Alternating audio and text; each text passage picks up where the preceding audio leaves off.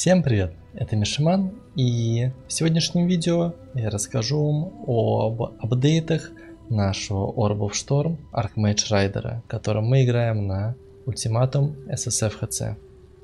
И по вашим просьбам начну с геймплея, потому что я допустил некоторую ошибку, не показал в самом начале, как этот build функционирует. Вот, но давайте исправимся, давайте пробежим какую-нибудь мапку. И пока мы будем не вкратце расскажу. Еще раз, значит, основной способностью является Orb of Storms. Мы играем через Архимага, мы стакаем ману. Сейчас я врублю РФ. Оба. Да. А, значит, как видите, геймплей максимально приятен на рейдере. Это Т-14 карта, какая-то там рандомно нароленная Magic Map. Вот, и... Значит, что я здесь делаю? Я ставлю Orb of Storms, потом зажимаю Tempest Shield, это позволяет мне кастовать Orb of Storms более чем 10 раз в секунду. Поскольку я рейдер, поскольку я быстрый, мы быстро триггерим это. На босса мы ставим э, гидросферу. Как видите, урон э, вполне неплох. Inventation плутали, найс. Вот, э, значит, примерно так это работает. Давайте посмотрим, как это выглядит на лик механике.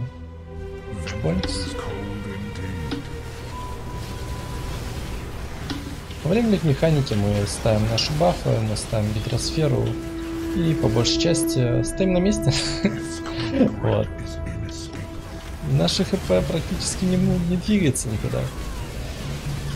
Вот. Можете заметить то, что это довольно веселый build. Вот, и сейчас, я думаю, что не буду до конца мапку уже добегать, так все довольно понятно. Вот, но алтарь уже задефаем, так уж и быть. Прекрасный алтарь, как нам не задефать. Вот. Что мы здесь используем, кроме основных скиллов? Мы используем Sigil of Power, вот эту синюю печать, которую я поставил. Опять же, поскольку у нас Archmage билд хорошо совместим с Sigil ом, который по мере того, как мы тратим ману внутри, то этой печати дает нам еще больше damage а и шансы. А вот. Гидросфера нам нужна для сингл таргета, поскольку от нее у нас идет дополнительный отскок Орбов Штормса. Вот. А, для большего дефенса использую, конечно же, Vigilant Strike. Получаю Fortify благодаря нему. И... Что еще у нас осталось? Да, в качестве аур в данный момент у меня стоит Vitality и Clarity которая позволяет мне не загенить даже по ДРФ, что максимально приятно. Вот. Что еще у нас осталось? А, ну, Smoke мина и Flame Dash в качестве move скиллов. Мой, лично в моей шкале топовый веб. Отличная комбинация вместе. Smoke мина дает нам blind, который также отлично сочетается с defence ами в данном билде. Вот, а Flame Dash просто супер удобная dash абилка, которая никак не контрится нашими врагами. Да. Вот, собственно, вот как бы showcase того, как этот билд выглядит. Давайте посмотрим поближе на него. А, значит, э, естественно, Cloak of Defiance. Этот выбор сложно чем-то перебить. Можно скрафтить более хорошую рарную броню, но это сделать реально тяжело. А, значит, в остальном Кир просто с маной хп резистами, как можете заметить. То есть да, как бы везде роллы неплохие, но ничего такого прям особенного. Кровно Inward Eye это чертовски хороший шлем для нас. За счет трансфигурейшенов мы получаем много дэмэджа, потому что а, непосредственно Transfiguration of Mind дает нам много increase damage, поскольку мы набираем много increase маны ветки. А, вот. Значит, э, каким образом нам удается Sustained Radius Fire? Во-первых, высокий монопул и высокий монореген. Не знаю, показывается ли здесь. Да, у меня регенерирует сейчас 970 маны в секунду без Arcane Surge. Под Surge полторы тысячи. Вот. И Life Regen около 400 за счет Vitality. Вот. Плюс к этому не стоит забывать, прибавляется еще и реген с агностика. То есть 20% маны в секунду мы регеним как хп. А, соответственно, у нас 7200 маны, это получается еще 140 регена сверху дополнительно, если я не обсчитался, конечно же. Можете написать в комментариях, если обсчитался, буду благодарен. Вот. А, значит, что по ветке? В лабе у нас взят Quartz Infusion, Avatar of the Veil, Rapid Assault и Avatar of Chase. Это дает нам возможность в купе с Акрофа Акра и Венденсером, как вы видите, фейстанчить боссов и фейстанчить ультиматумы на красных картах. Вот. В качестве кластер жулов пока что используем такие, довольно плохо нароленные, но все же что есть, то есть, этого пока достаточно. Это кластер Jewel Large на Lightning Damage. Основной здесь Notable это Scintillating ID, который дает им 20% маны и 5 пенетры, довольно много. Также здесь немного инкриза, в идеале здесь получить еще ноду на increase damage. Вот. Значит, и пока использую еще один а, маленький кластер, тоже Scintillating ID, вот, это все нам дает более 7000 маны, а на резерв, да. То есть э, довольно солидное значение, учитывая, что этому персонажу пару дней на ССФ, да, мы практически только начинаем свое путешествие. 94 level. А, вот, и ветка довольно простая, она состоит преимущественно из хп, маны и некоторых ключевых keystone ов. Вот. Что я планирую делать дальше? В какую сторону этого персонажа хочется развивать? И это довольно такой комплексный вопрос, да, есть много вещей, которые хочется улучшить.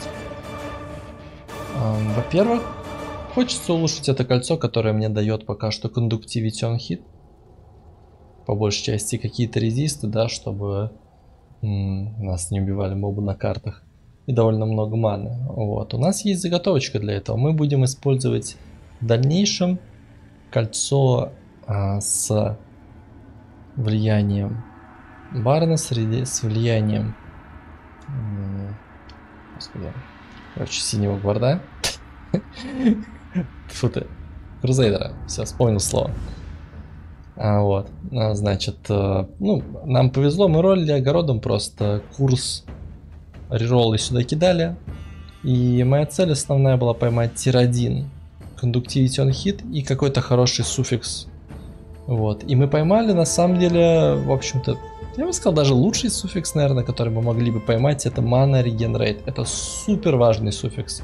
Он нам дает фактически и выживаемость, и стабильность, и все остальное. Потому что сейчас, если вы обратили внимание, во время ультиматумов если я стою в каком-то дигене, да, у меня бывает, если у меня не активен Arcane Surge, а, то у меня бывает мана довольно медленно регенится. Вот, это довольно плохо, то есть этого нам нужно будет в дальнейшем избегать. А, да. А, поэтому mana regenerate это один из основных параметров для данного билда. Именно mana regenerate сложно набирать на, на классах типа рейдера, типа элементалиста и так далее. Вот. И это причина, по которой их сложнее собирать для подобных билдов через Архимага, нежели чем а, Харафанта или Некромант. Так вот, значит, что мы будем делать с этим кольцом? Сюда я планирую кинуть а, Veil в суффикс И надеюсь поймать здесь аналогичный этому, на этом кольце моду а, плюс один Endurance Charge. А, значит, практически стопроцентной вероятностью мы поймаем здесь какой-то какой чардж. Вот. Если это будет френзи, отлично. Если это будет Power Charge, я, наверное, не буду его брать, я скорее возьму какие-нибудь резисты, да, то есть это будет правильнее и удобнее. Вот, однако же, если мы поймем здесь Endurance Charge, это будет супер круто. Это будет отличным дополнением для этого кольца. После чего я сделаю через огород keep suffixes, reroll prefixes. Мне нужно э, сделать так, чтобы хотя бы один префикс остался свободным, после чего мы сотрем отсюда все префиксы и будем скорее всего, делать префикс из cannot be changed и кидать туда val арбу для того, чтобы попытаться получить второе val свойство в префиксе. И если у нас удастся получить там либо маны, мана реген, либо хп, мана реген, что-то из этого, это будет уже очень-очень круто, потому что сверху мы сможем докрафтить немного дэмэджа, как здесь increase damage. И это кольцо будет чертовски сильным и полезным для даунлода. Следующий слот который я хотел бы улучшить, это, конечно же, амулет. Сейчас амулет дает мне хп ман реген и какие-то атрибуты, какой-то резист. Вот, но пока он довольно слабый, потому что если вы посмотрите, здесь опять же у меня лежит заготовка. Мы сегодня в хайстах добыли фертайл каталистов. Вот здесь у нас чудесная заготовочка Blue Pearl Ring 85 в этом левела. А на нем мне не нужно много чего на самом деле. На нем мне нужно в основном хп, мана и мана регенерейт в суффиксе. Чтобы его закрафтить, мне потребуется большое количество эссенций Essence of Misery, который дает мне мана реген. Вот, то есть, если кидать сюда тир 1 эссенции, то можно получить а, до 76%, это еще умножится на 20% эффекта модифайеров за счет фертайл каталистов. И суммарно на этом кольце будет порядка 170 мана регенрейта, что просто огромное количество мана реген. А, значит, дальше. Нам нужно будет улучшать пояс, на нем нам в идеале поймать высокий лайф, высокую ману и мана recovery rate. Этот параметр можно поймать на поясах либо редимера, либо шейпера. У меня в данный, в данный момент есть редимер версия, шейпер. Ну, пытаемся докрутить уже с помощью крафтов огородика. На пушке хочется к тому, что уже имеется больше increase lightning damage. Будем работать над этим. Возможно, speed Э, это те основные вещи, которых на этой пушке не хватает. И щит крайне желательно поймать.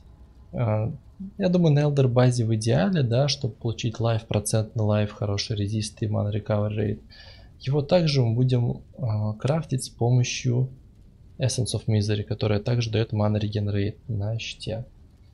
Для того, чтобы достать такое большое количество эссенций, я буду бегать Havoc Hamlets, Amplified и Controlled Corruption нодами, которые дают очень много эссенций. На каждую карту при этом буду кликать эссенцию с два хаоса Узаны. И это довольно быстро повышает количество эссенций, которые у вас ролятся. Также здесь взята нода на огород, также здесь 4 камушка на огород тоже поставим и будет красиво. Последнее, о чем хотел бы упомянуть, это кольцо, которое мы сейчас активно пытаемся найти, которого у меня пока что нету. И это кольцо называется Essence Worm. Вот так вот оно выглядит.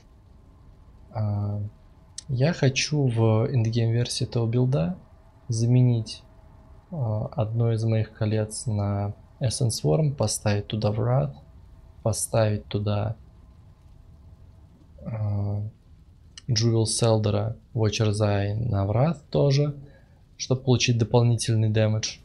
Взять ветки Supreme Ego и отказаться от Vitality и от Clarity. Для этого потребуется более хороший гир, чем сейчас у меня есть. Но это та цель, к которой мы стремимся, потому что если мы поставим Essence War, мы поставим а, Джуэл уникальный на дополнительный дэмэдж с врата, то это даст нам порядка 30, наверное, more damage относительно того, что есть без него. Не уверен. Поп на самом деле не то чтобы супер корректно считает. Вот, поэтому я предпочитаю уже на данном этапе ориентироваться на тот урон, который я вижу непосредственно глазами в игре. И вы сами видели, билд смотрится довольно интересно. Будем продолжать улучшать его, будем продолжать искать апгрейды. Буду держать вас в курсе, чтобы не пропускать какие-то важные вещи, изменения в данном билде. Не забывайте подписываться, ставить колокольчик под видео. А также, если вам понравилось данное видео, то не поленитесь, поставьте лайк и заглядывайте в Discord. Там вы можете увидеть уведомления о трансляциях на Твиче. Ссылки на все необходимые ресурсы будут в описании видео, так же как и патобилдинг для данного билда. Спасибо огромное за внимание и до скорых встреч. Пока.